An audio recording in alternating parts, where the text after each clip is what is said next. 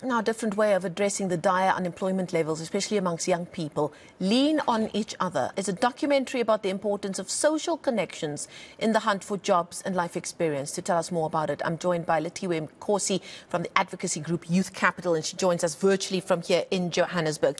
Lethiwe, thank you so much for your time. Um, we've been speaking about this a lot the last few days, and the, the statistic that stands out for me the most, in and amongst our dire unemployment figures, especially for young people, is the fact that massive percentage are either not in a job, they're either not educated or in training. And the other percentage, it really sits with me, is the one about uh, the large number of young South Africans who have just given up. What are you hearing from those on the ground and their day to day frustrations and the lack of opportunity they're facing? There is definitely a sense of frustration, but also the young people who we've engaged with are calling for sustainable solutions um, to unemployment. They are calling for um, employment programs that will not only give them the experience during the program, but also will enable them to find future employment.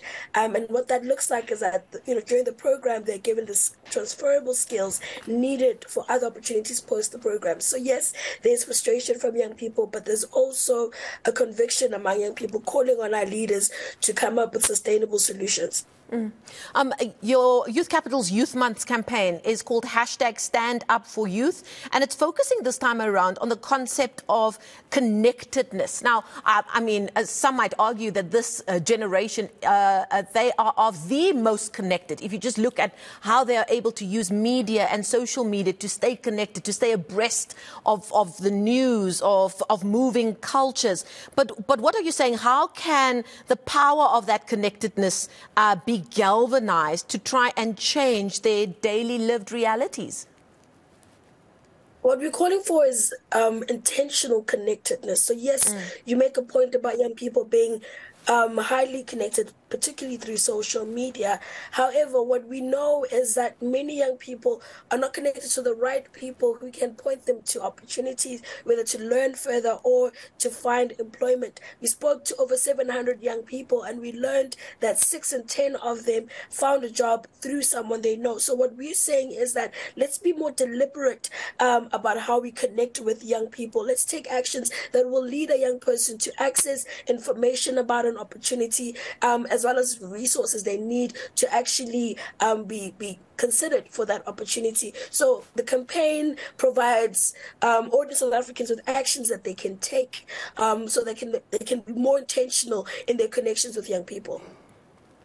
Uh, tell us about uh, this short film that you've made called Lean on Each Other. What is it about? What are you aiming to achieve with it? And where can people watch it?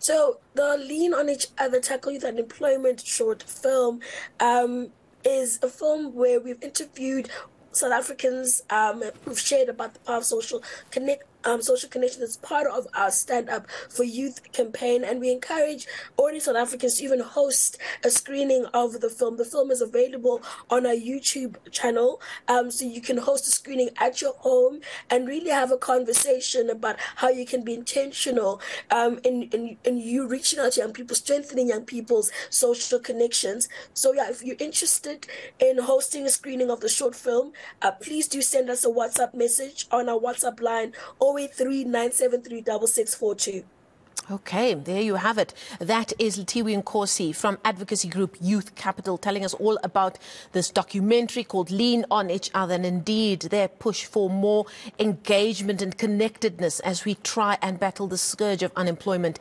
especially amongst our country's youth.